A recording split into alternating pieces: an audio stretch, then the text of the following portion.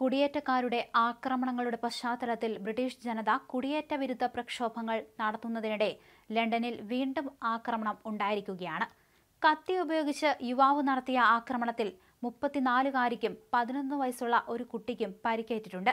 ലണ്ടനിലെ ലെസ്റ്റർ സ്ക്വയറിലായിരുന്നു സംഭവം നടന്നത്. സംഭവത്തിൽ അക്രമിയെ ഉടൻ തന്നെ പോലീസ് കസ്റ്റഡിയിലെടുക്കുകയും ചെയ്തു. പരിക്കേറ്റ രണ്ടുപേരും ആശുപത്രിയിലാണ്. അതേസമയം അക്രമിയെക്കുറിച്ചുള്ള കൂടുതൽ വിവരങ്ങൾ പോലീസ് പുറത്തുവിട്ടിട്ടില്ല. ആക്രമിച്ചത് കുടിയേറ്റ പൗരനാണോ എന്ന കാര്യവും ഇതുവരെ വ്യക്തമല്ല.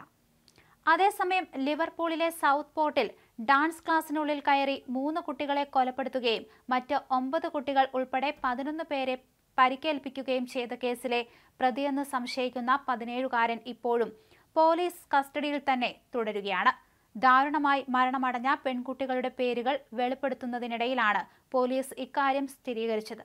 അതേസമയം ഈ ഒരു ആക്രമണത്തിന് ശേഷം സൗത്ത് പോർട്ടിൽ ചെറിയ തോതിൽ തന്നെ സംഘർഷം പൊട്ടിപ്പുറപ്പെട്ടിരുന്നു.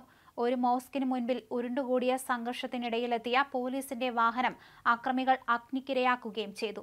പരിക്കേറ്റ മറ്റ് അഞ്ച് വിദ്യാർത്ഥികളുടെയും രണ്ട് മുതിർന്നവരുടെയും നില ഗുരുതരമായി തന്നെ തുടരുകയാണ്. അക്രമിയെന്ന് സംശയിക്കപ്പെടുന്ന കൗമാരക്കാരനെ പോലീസ് ചോദ്യം ചെയ്തു വരികയായിരുന്നു. വേനൽ അവധിയിൽ കുട്ടികൾക്കായി നടത്തിയിരുന്ന നൃത്തയോഗ പരിശീലന കളരിയിലേക്ക് പാഞ്ഞെത്തിയ അക്രമി കത്തികൊണ്ടുള്ള ആക്രമണം നടത്തുകയായിരുന്നു. ഒരു ടാക്സിയിലായിരുന്നു അക്രമി എത്തിയതെന്ന് ദൃക്സാക്ഷികൾ പറയുന്നു. അക്രമിയെ തടയാൻ ശ്രമിക്കുന്നതിനിടയിലാണ് മൂന്ന് മുതിർന്നവർക്ക് പരിക്കേറ്റത്. എന്തായാലും ഇപ്പോൾ യു കെയിൽ നിരവധിയിടങ്ങളിൽ ഇത്തരത്തിൽ കത്തിക്കുത്തുകൾ സംഭവിക്കുന്നുണ്ട്. അതും പ്രായപൂർത്തിയാകാത്ത ആൺകുട്ടികളും ഇത്തരത്തിൽ ആക്രമണ സ്വഭാവം കാണിക്കുന്നുണ്ട്. നിരവധി പേരാണ് ഇപ്പോൾ കസ്റ്റഡിയിലുള്ളത്.